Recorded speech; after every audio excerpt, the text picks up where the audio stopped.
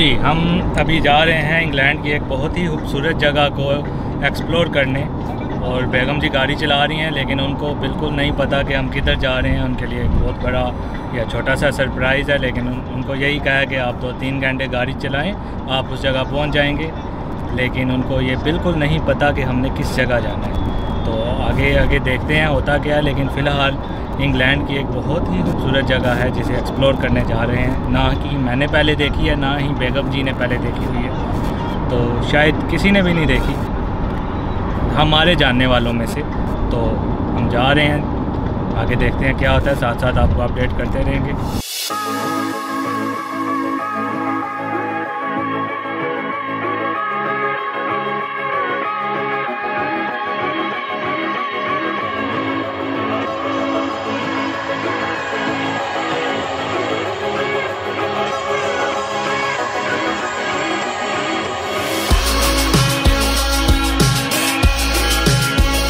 हाँ जी फाइनल तीन तीन, तकरीबन तीन, साढ़े तीन घंटों बाद हम पहुँच आए हैं इस जगह पे। अब इधर से तकरीबन वॉक है thirty two thirty five forty five minute तक तो वॉक होगी क्योंकि three point six miles five kilometre की वॉक है और उसके बाद हम अपनी मंजिल मकसूद तक पहुँचेंगे। चलो देखते हैं फिर आगे वॉक कैसी है और वॉक पॉइंट कैसे है।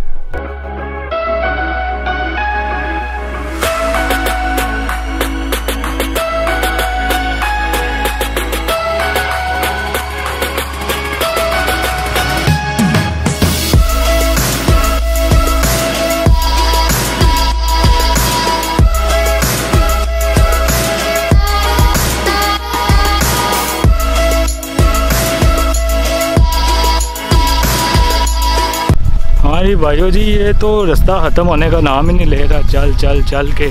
और अभी भी तकरीबन 20 मिनट का आगे और रास्ता है। वो पीछे देख सकते हैं जो जितना चल के आए हैं। तो आगे। वो आगे और चल के जाना है। तो देखते हैं अभी कितना होता है अभी थके तो नहीं है, लेकिन चले काफ़ी हैं।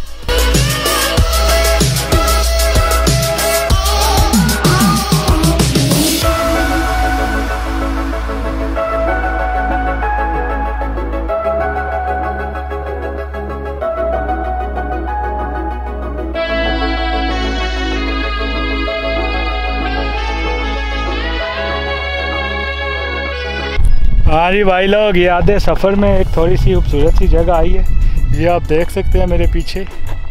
ये इस तरफ़ भी देखें, क्या सीधी तीर क्लिफ बनी हुई है। इस तरह पता चलता है किसी मंडी बाउलदीन के मिस्त्री ने बनाई हुई है। और वो उस तरफ़ भी आप देख सकते हैं कि बिल्कुल सीधी तीर। और ये रास्ता इधर से जा रहा है, लेकिन इधर से ना बहुत नहरो हो गया। इससे आगे मेरी हिम्मत नहीं हुई जाने की। क्या बताइए, टूट ही जाए मिस्त्री अच्छा ना हो।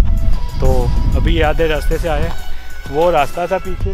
जिधर से हम चल के आए हैं तो आगे आगे देखते हैं और कितनी अच्छी जगह आती है।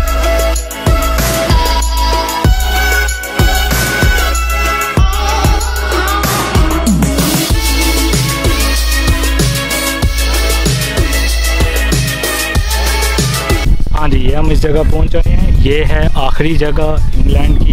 ये आगे तकरीबन इंग्लैंड का समुंदर। फिर आगे से कोई और मुल्क शुरू हो जाता है।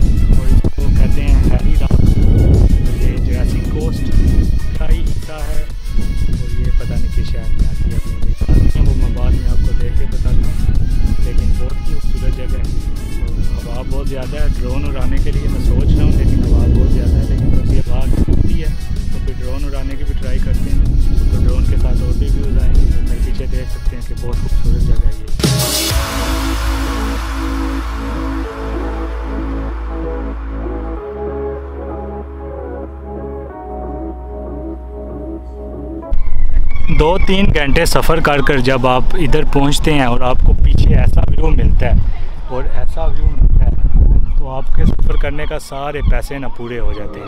Hey,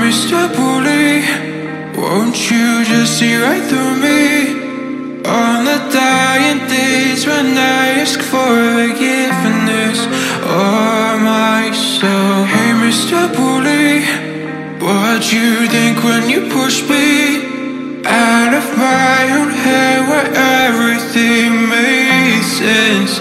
Breathing in the lies that keep me open from the truth that keeps me holding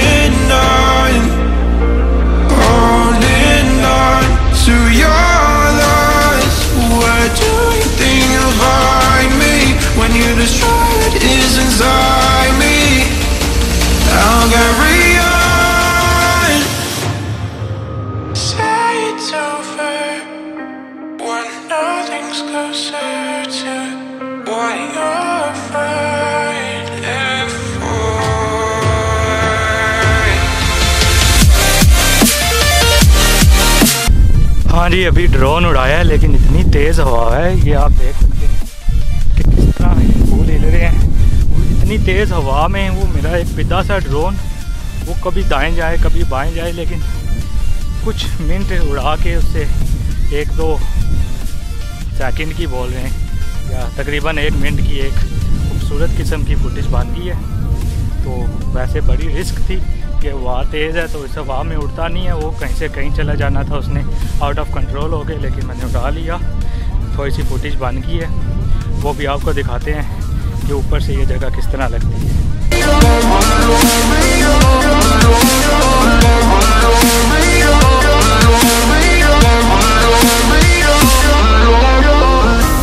Fade away from where we've been. Close the chapter where I'm ripping out my pages. Stop the fire under my skin. Or light the blaze again that stood alive for ages. Breathing in the lies that keep me open from the truth that keeps me holding on,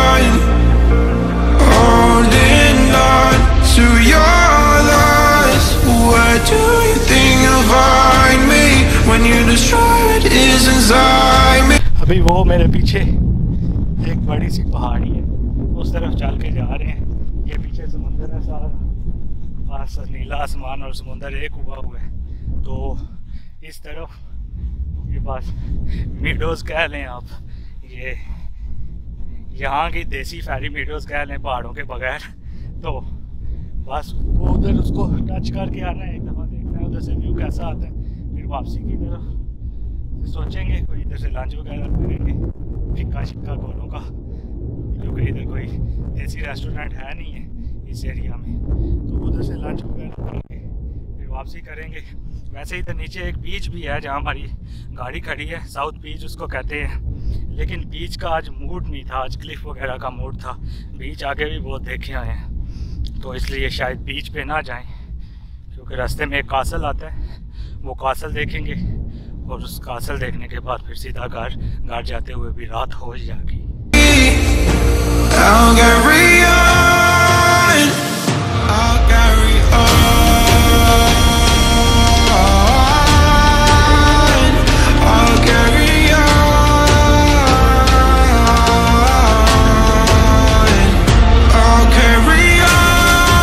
ये एक जाते हुए हमें रास्ता मिला है। कोई जंगल के बीच में से जा रहा है। वो आप देख सकते हैं। ये पता नहीं किधर जाता है। लेकिन बस रास्ता देख के खूबसूरत रास्ता लग रहा था। तो मैंने कहा, चलो चेक करते हैं। जाके थोड़ा बहुत कीचड़ आ गया लेकिन अगर रास्ता बनाया हुआ है उन्होंने तो इसका मतलब है कि लाजम कोई शायद अच्छी जगह ही हो। या सिर्फ़ आवाम को थकाने के लिए बनाया हो। लेकिन नहीं, ये इधर ना बीच वाली साइड पे आ गया। ना इधर मैं एक दफ़ा पहले आया था, लेकिन आगे से कीचड़ है, रास्ता बंद है। इधर से ऊपर से देखते हैं, शायद इधर से रास्ता जाता हूँ। ये जा तो रहा है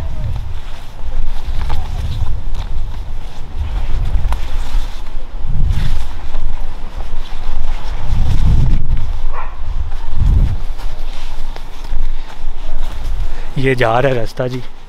पता नहीं किधर पहुँचते हैं। आगे देखते हैं।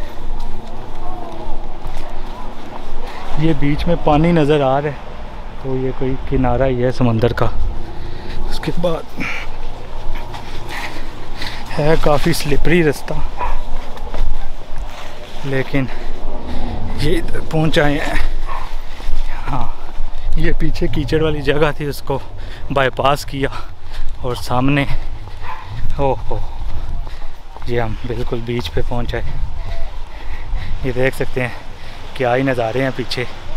बस इसी तरह के खुफिया रास्ते हो ना तो बीच भी कवर हो गया। आने का मूड नहीं था यहाँ पे, लेकिन एक रास्ता जा रहा था, जो गाड़ी की तरफ़ रास्ता जाता है, वो यहाँ बीच से भी जाता है। वो मुझे है, मैं पहले आया हूँ तो अभी हम बीच को देख गए इंजॉय करके वापस जाएँगे।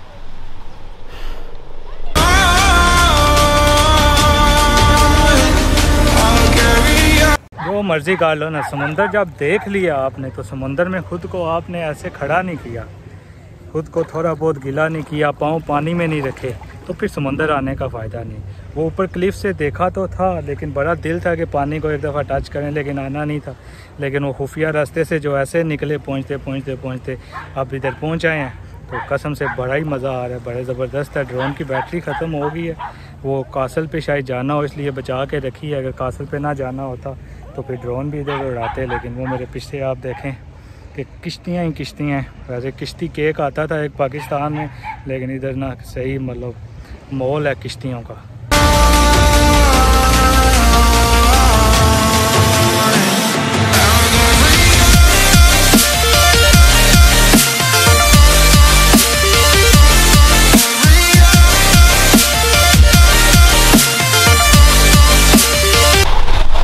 तो एक बात और, अगर आप इधर आ गए हो, पानी में पाँव घुसा लिए हैं तो फिर एक पूरी तारी तो बन दी है ना जनाब।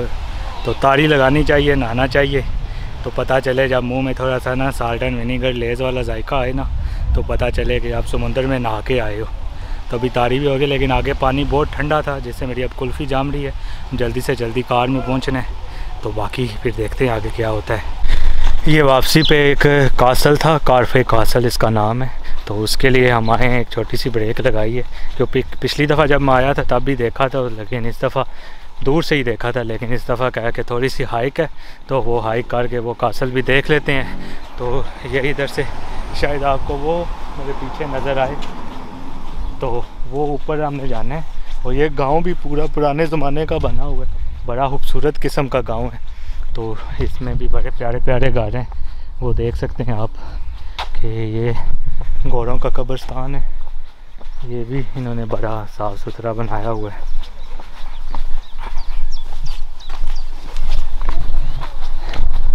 बाकी आगे देखते हैं कासल पे। हाँ जी, कैसल आ गए हैं। एंट्री थोड़ी सी एक्सपेंसिव थी, लेकिन अब आए हुए हैं तो फिर टिकट ले लिए हैं, लेकिन वो अभी चार, अभी क्या रहे चार हुए हैं, वो कहते हैं पाँच बजे बंद हो जाना है, आधा घंटा तो आपको ऊपर पहुँचते हुए लग जाएगा तो जल्दी जल्दी देख लो। तो वो देखें जी इधर से वो ऊपर जाना है बस आज ना चलने वाली बहुत खवारी लिखी हुई है तो फिर चलना पड़ेगा आगे ऊपर जाके देखते हैं जी कैसल के कैसे व्यू हैं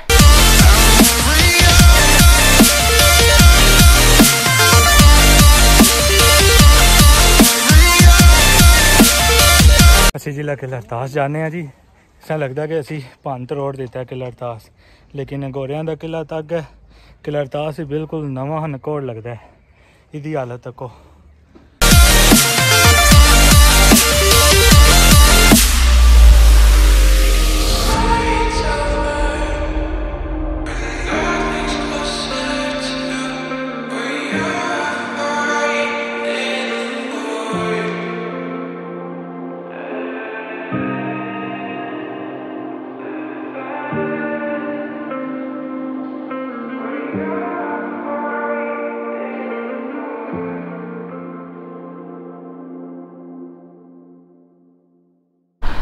हाँ जी, ये कासल वगैरह हमने देख ली है। अब बस सुबह नौ बजे के निकले हुए हैं, कुछ खाया नहीं हुआ। अब रेस्टोरेंट ढूँढने और कासल के ऊपर ड्रोन उड़ाया, वो अभी रुकी हुई थी। और क्या ये ज़बरदस्त सीन आए हैं मेरे हिसाब से कि सबसे बेस्ट सीन जो आए हैं ना, ये इस कासल के ड्रोन के साथ आए हैं। जब से ड्रोन लिया है ना, तब से जो बेस्ट सीन आए हैं ना, वो इस कासल के आए हैं। मुझे ये भी नहीं पता कि मेमोरी कार्ड शायद छुट्टी काट जाए या कोई मसला हो जाए, लेकिन अभी तक जो मुझे वो व्यू में नज़र आ रहा था ना, बहुत ज़बरदस्त सीन थे और ड्रोन भी बड़ा ज़बरदस्त कंट्रोल हो रहा था, क्योंकि हवा नहीं।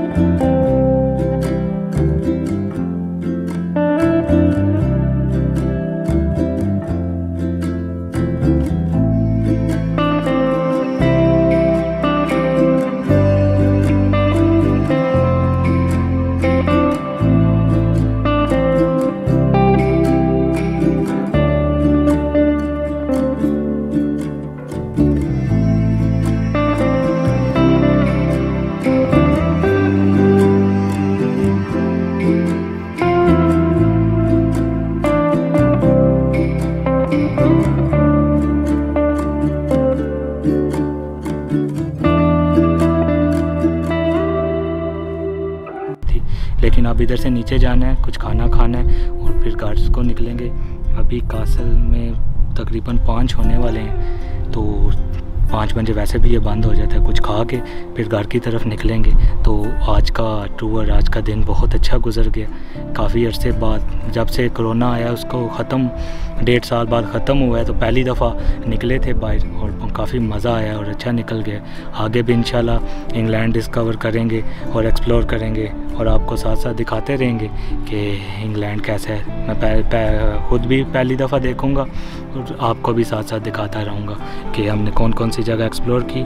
तो अभी के लिए अल्लाह हाफिज़ खाना खाते हैं खाना खा के फिर घर की तरफ़ रवाना होते हैं। रास्ते में ये एक रेस्टोरेंट मिला, नेपाली रेस्टोरेंट है, बस इधर आप करेंगे कोई लंच लंच या डिनर पता नहीं टाइम तो कुछ भी नहीं है दरमियान वाले टाइम है छः होने वाले हैं तो फिर आगे देखते हैं, घर कब पहुँचते हैं।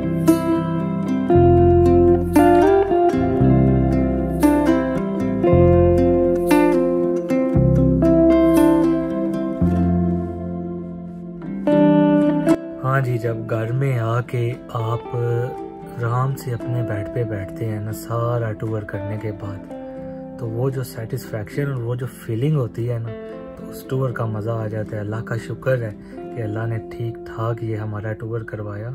छोटा सा टूर था, लेकिन फिर भी सफ़र सफ़र होता है। सफ़र में हर किस्म के ख़तरे होते हैं, लेकिन अल्लाह का करोड़ दफ़ा शुक्र है कि अल्लाह ने बहुत अपना फजलो करम दिखाया इस टूर में। तो फिर मिलेंगे एक अगले एडवेंचर में।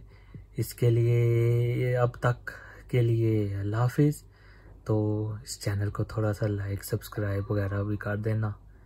वैसे तो सात आठ से ज़्यादा व्यू आते नहीं हैं इस पर लेकिन फिर भी आप कर देना। तो मिलते हैं फिर अगली एपिसोड में। See you in the next mission